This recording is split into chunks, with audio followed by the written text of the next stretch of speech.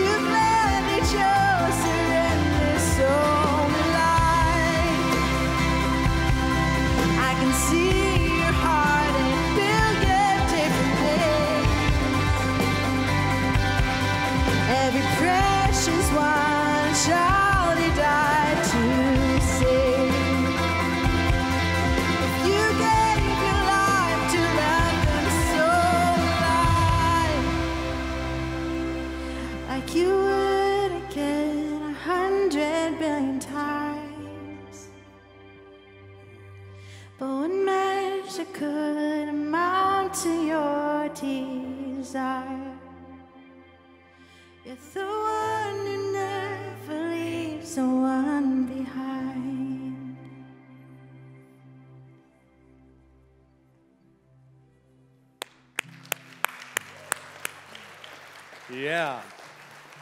What a great song. A song that tells the God story in picture and song. Can we thank these guys for leading us into the midst of that? you know, as we begin this uh, third service today, I just want to say that there have been teams of people that have, make, that have made just not this day happen, but make all kinds of incredible things happen around here. And we say that a disciple is somebody that loves God, loves people, and serves the world. And, and uh, we just have lots of people serving, and I want to honor all of you. Uh, but I also want to say that uh, we have lots of opportunities for you to serve if you are looking for a place to give yourself away. Both here on Sundays, we got lots of people serving our little people uh, over there, making this thing make uh, sense to them. And uh, we're involved in Young Life and Young Lives and the Madison House, and uh, we've adopted a school named Robertson. There's just lots of opportunities. So, again, if you're looking for something, some way, we say it around here because we believe it, that you come alive when you serve. So, if you're not doing something to serve, check it out uh, because I think you'll come alive if you do so. I got to listen to a Bible scholar a couple of weeks ago, and he uh, kind of tuned me into some unique characteristics to the culture of Jesus' time. And they were a culture who communicated through song and through story. So, story and soundtrack. And historical context is always important, and we're a disadvantage uh, because of where we live and because of how we've gone about life. But the historical context that I want you to understand today, uh, with regards to the Easter story and the Passion story, is that in Jesus' day, the life expectancy of somebody was 26 years old. So Jesus at 30 would be like you and me at 60, 65, 70. Uh, he's making the decision that it's time to go out and save the world. We would be thinking about retiring. What am I going to do in my retirement? And in his culture, a boy would start school at the age of six, and between six and 10, he would memorize the first five books of the Bible. They actually called the school the house of the book, memorizing the whole thing. They weren't required to understand it, they just wanted them to memorize it. To, to hide the word in your heart was the concept that they were living off of. And then in that age and day, when you were 10 and between 20, 10 and 14, those years of adolescence, you started to study the prophets. And the prophets you not only memorized, but you had to begin to understand, you had to be able to read, you had to be able to question that. And then at the age of 14, you could stop there, but those that wanted to continue to go from 14 to 30, they would actually connect themselves. They would go out and find a rabbi, and they would spend that period of time studying and understanding more and more and more. By the time you were 30, you were aged and sage enough to take on students. Now, the interesting thing about Jesus is that he actually went to people and said, Follow me.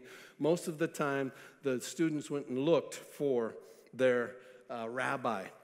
Now, here's where we are at a disadvantage because they were totally immersed in the story. We, unfortunately, somewhere along the line, decided to put chapters and verses in our Bible. And if we memorize it all, which most of us don't, but if we memorize it all, we are memorizing verses. We are memorizing just little pieces of the story. They memorized to know the story we know again chapter and verse. So at Easter, I want to tell you three stories today that, uh, that really have to do with the words of Jesus, but the, the stories surrounding those words and the song of Jesus, the, the story and the soundtrack, if you will. And I would tell you this the vernacular of their culture was story and song. I would say that that is actually our vernacular, ter- uh, vernacular too. Uh, that is our mother tongue. But all pre print cultures lived this way. They memorized and shared the stories. As I started to think about this, I, I, thought to myself, do I have a song? And then I was reminded, I went to a YVC baseball game a couple of weeks ago, a great team, fun to watch, great baseball. And I'm sitting there between innings and they're playing music, and my song comes on, which is Bachman Turner Overdrive, Taking Care of Business. And I'm sitting in a section, much like some of you are here in our third service, all by myself, and I realized way too late that I'm jamming. I mean, I'm moving. I'm, I'm having a party all by myself in this section of the stands because I have connected to my song, Taking Care of Business. And as I've thought about that from the days that have followed that, I've realized that really is my song. I am all about getting it done. I don't want to sit and talk about it. I don't want, I don't, and I don't want to stop. And this is where it's the really dark side of who I am. I don't stop to care for the people I love. I don't stop to pay attention to big things that are going on in other people's lives because I'm taking care of business. And I'm so glad that God showed that to me.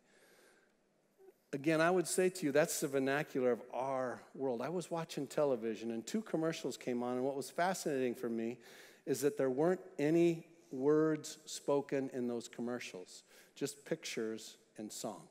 And I found another one that I want to show you, which I think is kind of fun. So watch this commercial and uh, see if you can see the story to go with the soundtrack.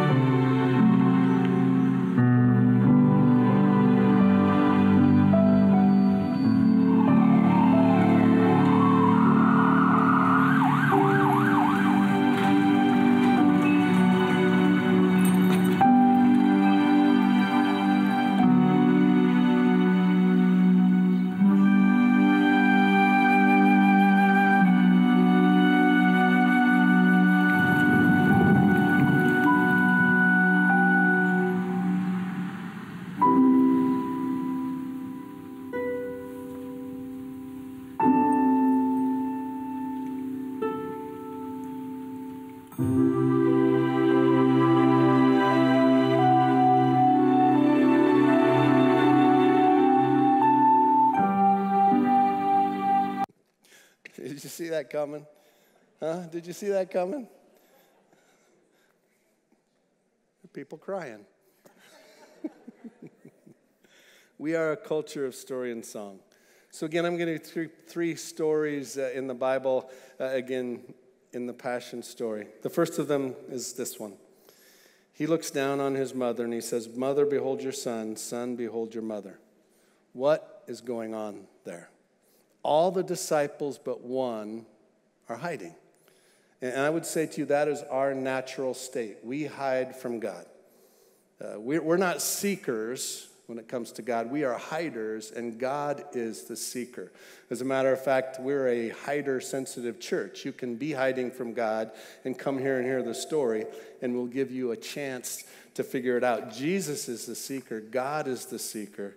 He is what one author called the hound of heaven. So there are three Marys and John standing at the foot of the cross. I grabbed this picture because it's important for me, again, to give you some historical context. Uh, they, I think we've been taught to believe that, that they're hanging high above us, but they say that crosses really were very, very close to the ground. And that as Mary, the three Marys and John are there, Jesus is on the cross. And it's important to understand one, that he's naked, so there's no cloth. And two, that uh, the Romans made a science of torture, and this is the pinnacle of that science. The cross destroyed the person completely. I mean, yeah, it, it was physical. He would literally lose and, and this happened over days, all of the fluids from his body. So he's at ground level. People are walking by, taunting, watching, and he is sweating. He is bleeding. He, the, the urine, the feces. I mean, you, this is just one nasty, nasty setting. And it's intent that way. It's the science of the Romans. And these three stay close in the midst of all that is going on there. They're there. And it's from this place and that's what's going on this slow death. Jesus was put on the cross at, um, at nine in the morning, and he was dead by three. Uh, what did he die of? You know, again, it was supposed to take days and days and days. You would have finally, uh, uh eventually asphyxiate yourself. You just had no strength left. You would collapse onto yourself and you die. And yet we know again that Jesus didn't die over days, but six hours because they actually rammed a, a spear through his side and water and blood flowed out, so he still had fluids. We would say today that Jesus actually died because his heart just burst, his aorta popped. Uh, he literally died of a broken heart. So, as he's on the cross and that is what's happening to him, why would he say, Mother, your son, son, your mother? And I don't think we understand one of the most powerful scenes of the Gospels. He's dying for the sin of the world. He is dying for the world. The cosmos is caught up in this moment. The earth quakes when he dies. And yet, while he's preparing to do that, save the universe, he is also being very particular because he's got a problem. He cannot just save the world, he needs to reconcile, he needs to save, he needs to take care of his family. And he's really got two families this new family of followers, and then his birth family. And his mother, Mary's side of the family, is from a place called Nazareth. And Nazareth, when they found out Jesus was from there, they said, Can anything good come from that place? And it's because it was a bad place. And it wasn't that the, it was a bad place on the earth, it was a bad place because, although a very small place, it had very bad people there. They were just bad people, and they were related to Mary.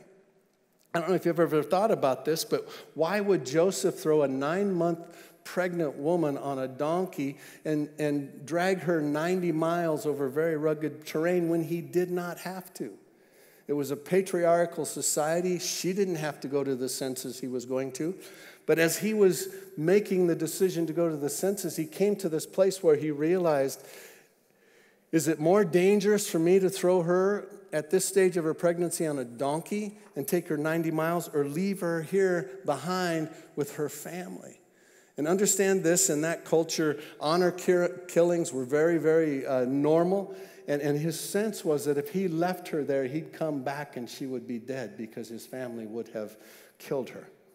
Did you ever wonder why he couldn't do any miracles in Nazareth? Uh, have you ever thought about that uh, when he revealed who he was in Nazareth, they went to throw him off of a cliff? Again, an honor killing, because to them that was blasphemy. Have you under, ever wondered why not a single disciple came from Nazareth? It's because this is not a good place. So he, as he's dying, he starts a new family. He's getting ready to take the sins of the world onto himself, and yet he has to take care of his fractured family. So here's what's important to us today. Even in the most universal of moments, he took care of the particular. He can't save the world until he redeems his family. So to John, he says, The lone disciple is there, your mother. And to his mother, he says, Mother, your son. And it's important to know that Mary spent the rest of her days with John in this new family. One of the most tender moments of Scripture. I went to the movie this last week called I Can Only Imagine, and I didn't know what it was about. And I came in there, and, and the author of that song who sang it, it was an incredible success, Christian song that crossed over all of the, all of the different types of music. But I just sat there, and I was so glad the room was dark because I was heaving. I was so emotional because it was all about this songwriter's issues with his earthly father. And it just so connected to my own struggles with my dad and the pain of my life. And I'm so grateful that this God who saved the universe reached down into my life and took me to a place where I could stand before my dad and forgive him, could walk in freedom. And when my dad stepped into eternity, he did it knowing I loved him and our relationship was right. God takes care of the particular. He's not too busy, He's not too big. He can touch you wherever you are at and whatever's going on in your life. So that's the first story from the cross. The next is one of the last things Jesus does is have a conversation with a couple of criminals. Jesus died as he lived in the company of bad people. He didn't die alone. On Golgotha, it's not just one person dying on one cross, there are three people dying on three separate crosses, and you actually do violence to the story if you don't recognize that that is what is going on here. Three thieves and three crosses, one good, two bad, one becomes good. Have you ever thought about that? Who's the first convert to step into eternity with Jesus? It's a thief, a convict who was on the cross next to him. The last thing Jesus does is bring with him one of those bad people into everlasting life. Even on the cross, he is saying, Follow me. But you know, that's not the real story. The real story is the third thief on the cross, and that is this thief that stole from the woman of, at the well her sin. It's the one, the thief who stole from the woman caught in adultery her shame. It's the thief who stole from the poor their last place at the table, who stole from the leper his disease, his isolation, his ostracization. The whole story of the Bible is that Jesus came to steal you from whatever is hindering or harming you. That's the story, the third thief. Whatever is holding you down, the greatest heist in history is Jesus stealing from the devil his power over sin and over death. He stole from the grave its sting. The thief came to steal your heart and to walk you into victory. I sat this week with a guy who has just been ravaged with cancer. They actually opened him up and sewed him back up because it was so pervasive in his body. And I prayed over him, anointed him with oil, prayed for healing, and he, he was grateful that I would do that. And he said, Dave, I just want you to understand I've got two paths here. One, I'm healed, and I love that. I, I would truly love that. But the other is that I step into eternity with Jesus, and I'm okay with that. Grave, where is your power? It's gone. And that's what the third thief does. So never forget the three crosses and the thieves who hung on them. So one story left. And again, the language of this culture was story and soundtrack. This is my story. This is my song.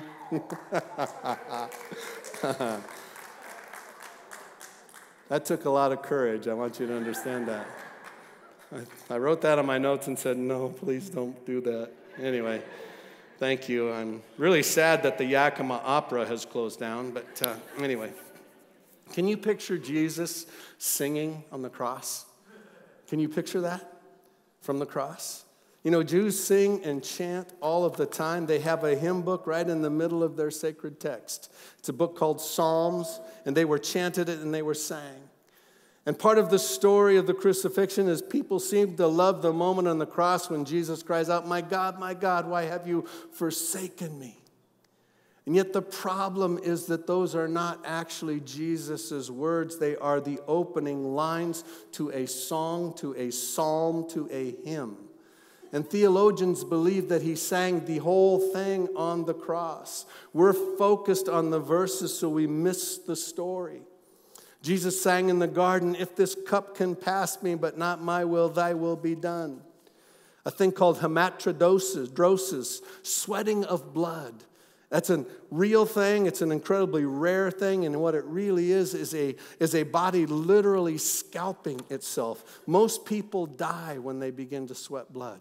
You have no skin left. You can't get a feather close to that person. And that's why I believe Jesus couldn't carry his cross. He was in such agony from any kind of motion, excruciating pain. Even if wind were to blow against him, it would have been incredibly painful. He lasted only six hours on the cross, I believe, because the pain was so intense. So the last thing he does on earth is sing a song.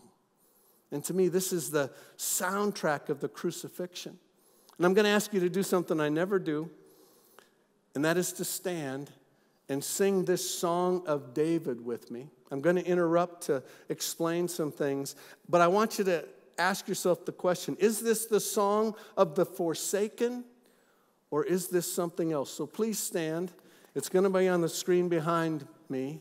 A psalm or song of David, Psalm 22. Read with me, please. My God, my God, why have you forsaken me? Why are you so far from saving me, so far from my cries of anguish? My God, I cry out by day, but you do not answer, by night, but I find no rest. Yet you are enthroned as the Holy One. You are the one Israel praises. In you our ancestors put their trust. They trusted and you delivered them. To you they cried out and were saved. In you they trusted and were not put to shame. But I am a worm and not a man, scorned by everyone, despised by the people. All who see me mock me. They hurl insults, shaking their heads. He trusts in the Lord, they say. Let the Lord rescue him. Let him deliver him since he delights in him. And let me pause right here and just tell you that Jesus is living this moment right there as people walk by. They're wagging their heads, they're hurling insults at him, they're telling him, Come down if God is for you. They're spitting on him. He's living this in this moment as he's singing this song. Let's continue. Yet you brought me out of the womb. You made me trust in you, even at my mother's breast. From birth I was cast on you. From my mother's womb you have been my God. Let me pause there and ask you this if he's singing this song, who's he looking at as he sings this portion? He's looking down at his mother, he's looking down at his mom. Let's continue. Do not be far from me, for trouble is near and there is no one to help. Many bulls surround me, strong bulls of Bashan encircle me. Roaring lions that tear their prey open their mouths wide against me. I am poured out like water, and all my bones are out of joint. My heart has turned to wax, it has melted within me. Again, please pause. What does that describe? A breaking heart. Thank you. He's singing his own story before it happens, as it happens. You know, He always gets to the future before us. We are always catching up to Him. He is singing the soundtrack to His own story. Let's continue. My mouth is dried up like a potsherd, and my tongue sticks to the roof of my mouth. You lay me in the dust of death. Again, briefly, He's simply saying, I thirst. I thirst. Dogs surround me. A pack of villains encircles me. They pierce my hands and my feet. All my bones are on display. People stare and gloat over me. They divide my clothes among them and cast lots for my garment. But you, Lord, do not be far from me. You are my strength. Come quickly to help me. Deliver me from the sword, my precious life from the power of the dogs. And again, let me pause and ask you this question that's two times he's mentioned dogs. And why would he do that? You know, there were over 10,000 crucifixions and no bodies left behind. Jesus was taken from the cross. He was placed in an empty tomb. On the third day, he rose, spent 40 days amongst us, and then ascended to the right hand of the Father. No bodies left because part of the crucifixion was the brutalization of the body. They would leave the bodies on the cross. They'd let the vultures and the birds pick away at the skin. They'd let the dogs run off with the bones. no bodies. Again, let's continue. Rescue me from the mouth of the lion, save me from the horns of the wild oxen. I will declare your name to my people, in the assembly I will praise you. You who fear the Lord, praise him. All you descendants of Jacob, honor him. Revere him, all you descendants of Israel. For he has not despised or scorned the suffering of the afflicted one. He has not hidden his face from him, but has listened to his cry for help. From you comes the theme of my praise in the great assembly. Before those who fear you, I will fulfill my vows. The poor will eat and be satisfied. Those who seek the Lord will praise him. May your hearts live forever. In the ends of the earth will rem- the ends of the earth will remember and turn to the Lord, and all the families of the nations will bow down before him. For dominion belongs to the Lord, and he rules over the nations. All the rich of the earth will feast and worship. All who go down to the dust will kneel before him, those who cannot keep themselves alive. Posterity will serve him. Future generations will be told about the Lord. They will proclaim his righteousness, declaring to people yet unborn, He has done it. The word of the Lord. Please be seated. Thank you for doing that with me. You know, I say this and I stole it. I know it's said in a lot of churches God inhabits the praises of, of his people. Do you know where that comes from? It comes from right here Psalm 22. He has done it. Other translations say quite simply, It is finished. And then the earth quakes. The last thing he does is sing this song, closing with, It is finished. The earth quakes. This is not a cry of despair. This is a victory song. This is a victory cry. I didn't know this, but when, when soldiers are walking in cadence and singing songs, they actually stop before they cross a bridge because if they were to stay in that cadence, the bridge would very possibly fall down. They surrounded the walls of Jericho, marching and singing, and the walls came down. This is a victory song. It is finished. I don't know if you knew this, but the final words of the priest who was sacrificing the, the Passover lamb would say very simply, It is finished. So, what do we do with that? I would say that we have to trust the story. And one last little piece. The word that is translated gospel, the word that is translated for us the good news, up until Christians, this word had been a military word. When your village went to war and your side won, the spoils were yours, and the spoils were you. So if you were on the losing end and you were a woman, it was rape time. If you were on the losing end and a child, it was slavery time. If you were on the losing side and a man who was left behind, it was death time. And every village had a runner, and every village had a watchman. And when the battle was decided, that runner would take off towards his village, running sometimes for days. And they were known to have bloody feet because they wouldn't stop until the words were delivered as to whether or not they won or lost. If they lost, they would simply start screaming, and the watchman would be watching for them Run for the hills, we have lost. But if they won, that word that we now translate to gospel would be screamed as he came into sight and could be heard. And that word was very simply, We're saved, we're saved, you're saved, you're saved. They say, Blessed are the feet of those who bring good news. So, again, as we look at this story, understand today, Easter, the Resurrection Sunday, this is the runner's song. This is the runner's cry. He came with bloody hands and bloody feet, the one who came from heaven to earth to bring us this song, to bring us this news. You're saved. You are saved. I think we need to believe that song. I think we need to trust that story. Let me pray. Father, I thank you for this day. I thank you for what we celebrate on this day that a tomb was empty. Lord, if we know the story, not only is the tomb empty, but you're seated now at the right hand of the Father. And you're praying specific for each and every one of us right now that we would get this, that we would embrace this, that we would apply this, that we would run with this truth. Lord, our reality is that every single one of us, in each and every particular story that we hold, nothing is too big or too little for you. You care for us, each of us, each of us. Many of us, like me, represent that thief that was so deserving of death, and yet you walked us into eternity. Many of us are broken and need your healing hand to bring restoration to our lives.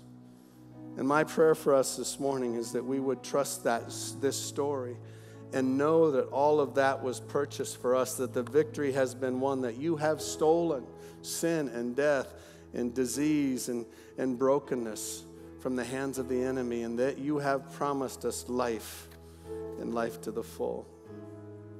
As heads are bowed and eyes are closed, I had a sense as I was preparing for how I would close this that there might be some people in this room that are in pain right now. Uh, you've experienced loss, you've messed up, you're battling some inner demons. There are just things going on in your life, and you just want to be free of those things. So, again, if, if that's you and you would love it, if God and His power would reach down and touch you, heads are bowed and eyes are closed, we're not looking around. If you just stick your hand up and say, That's me, I, I need that, Lord, I see these hands, but more importantly, you see these hands. Uh, you know what's going on in the lives of these people whose hands are lifted. And my prayer for them is exactly where they're at exactly what they need that you will give them right now in Jesus' name. You can put your hands down. We also give this opportunity. You've possibly never walked into a personal relationship with Jesus. And heads are bowed and eyes are closed. And if this is making sense to you, or if you just recognize and realize you sense something going on in you, I need to say yes to Jesus finally. Uh, I have been hiding. It's time to stop hiding. I need to say yes to Jesus. So, again, heads are bowed and eyes are closed. If that's you and you want to step into a personal relationship with Jesus, would you raise your hand? Say, That's me. I see that hand. That's awesome. I see that hand. That's great. That's good stuff. They're rejoicing in heaven, partying big time now. So thank you for your courage. You can put your hands down. I'm going to pray a prayer, and we do this this way here. Uh, we're, we're just a community. We're all trying to figure this thing out. So we pray this prayer out loud. For those of you that raised your hand, this is just how simple it is to step into a relationship with Jesus. Uh, you possibly should have raised your hand but didn't. You pray this prayer, you're in anyway. So let's all pray together. Would you pray after me out loud? Heavenly Father, Lord Jesus, I rejoice in salvation. I rejoice because it's mine. I rejoice because it's finished salvation, healing, forgiveness, the power of heaven is given to me because of what you've done. You are my Lord. You're my Savior. I am saved. In Jesus' name, amen. Amen. Let's applaud with those that made that decision.